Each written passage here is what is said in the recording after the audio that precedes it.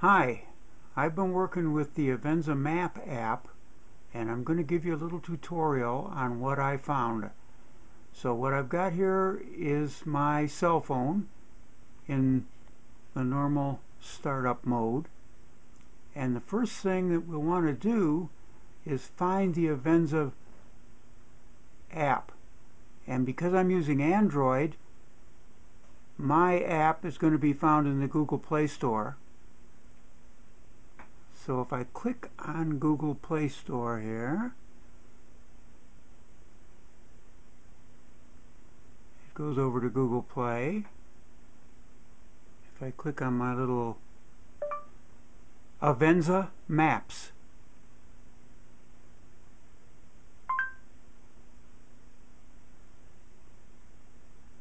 There we go. There's the maps. Since I've already downloaded this, I can just click on open here and it brings up the first page of the Avenza Map app. Now you'll see you get a getting started on map section in this right off the bat and I've already imported my map location from Mike Hughes who sent me this in an email. So what I'm going to do is show you how to get, Mike will have to send you your map. I'll show you how to get that on the app. But before we do that, I'm going to go up to settings, little, that area right there, and show you down at the bottom there is units of measurement. You'll want to make sure that you have the units of measurement set up the way you want it. In my case, I've got linear measurements set up in feet, area measurements set up in acres, and that's going to work out really well for me and probably for you too. Now we went just went backtrack to the maps and up at the top of the maps there's a couple of uh, icons uh, if you're going to be shopping for maps with the Avenza store, you'll see that little shopping cart icon.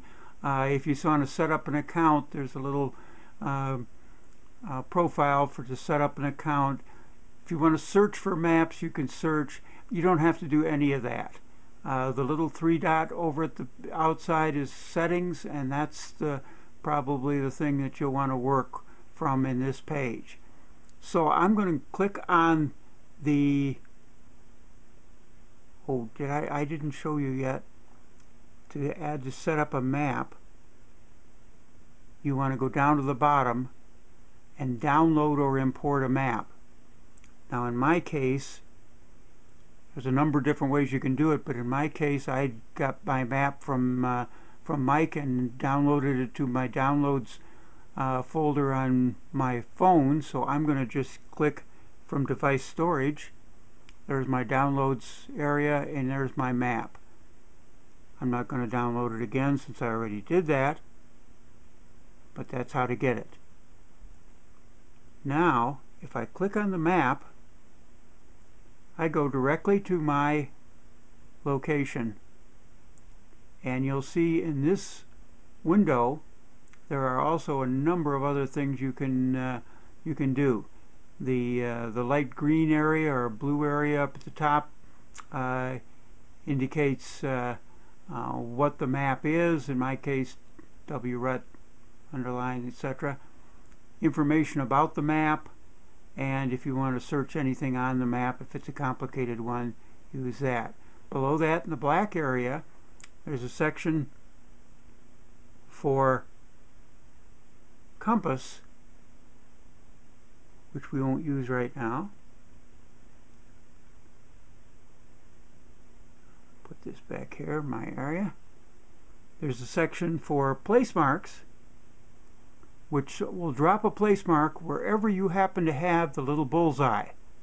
So if you move the map over here where the bullseye is over here, and you go back and click place marks, you've got a second place mark. Now we don't need those place marks for this tutorial, so I'm going to touch the place mark label and just go up to the top and click the little trash can and get rid of the place mark. And I'll do the same thing for the other one. And we're back here. Alright, next in line in the center of the black area is your uh, location. In my case I've got it set up for latitude and longitude, but if you touch it, you can set it up in a number of different ways. I think for most of us latitude and longitude is probably uh, the way to set it up, but you can check on that for what else you want to use for. The next area over there is map features. If I click on that, it brings up my map features. Now I've been fooling around with that and I have added uh, some layers in my map features for 2015, 2016 and so on and what I'm going to do is put in my uh, my uh, information for those areas or for those years in those sections. It would start right off with a line and place mark area layer and uh, uh, we won't work with that right now.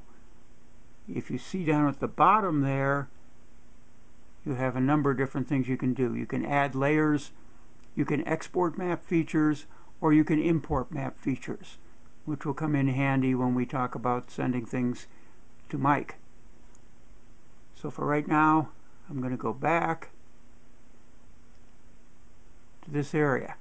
And the last little section over there in the black is uh, the little wrench is tools. Tools are what we'll be using most here.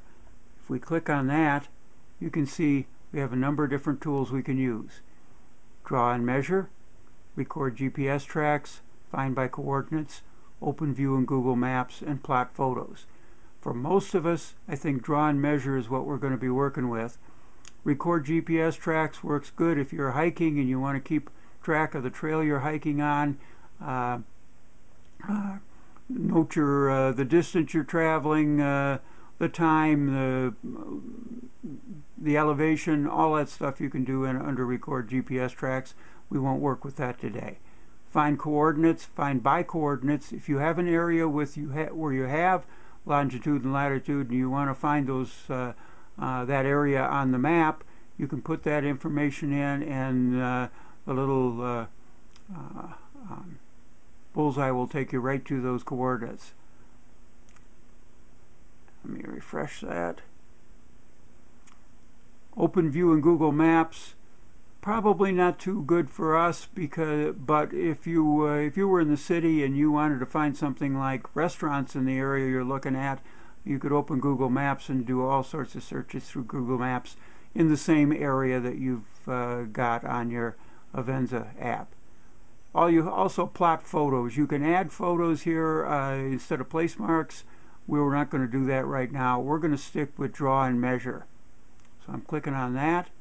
Now, in draw and measure, you'll see some little uh, tools down at the bottom.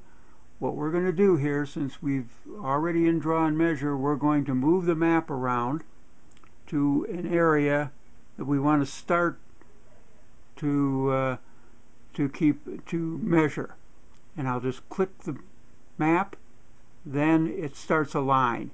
I can move it up to the next line click it move it over click it move it down click it move it back over and click it one more time. And you'll see down at the bottom it's line. It's it's set up on line. And that means that what we did is just add a line. Now if I click on that line, I can turn it into an area, which is pretty much what I think we're going to want to be working with. It already measured that area for me. That happens to be 3.94 acres. So, if I want to save that area, I just click the little checkbox there. The area is saved. Then I can click on the on the uh, label and I can change that information to anything I want. I can uh, I can go back, get rid of that, and let's call this 2015 work area. Good. And then we can go down and we can add a description.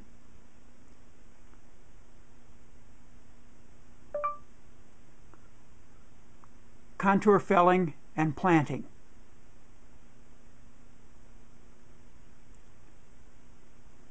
Okay. We could add a photo. In this case, we could actually actually take a photo or we can pick a photo from uh, our gallery. I'll just pick a, uh, a photo from the gallery. We'll just take the first one there that I was playing with. That's added in now.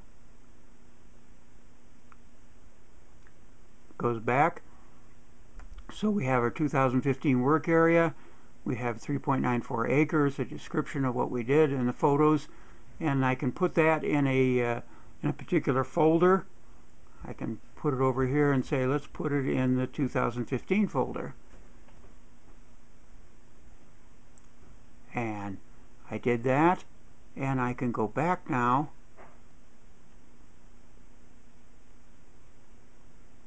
There's my 2015 work area with all the information in it.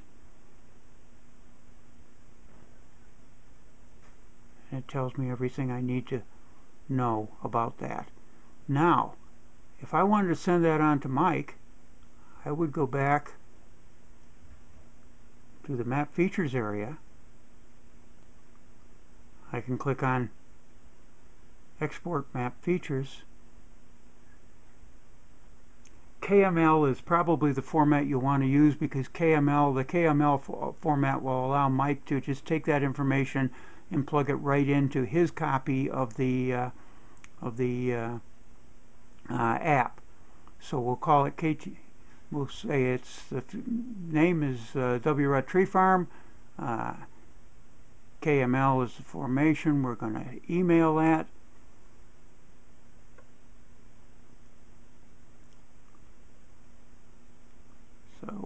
Exporting to email. And we'll click export. We're going to do it with Gmail.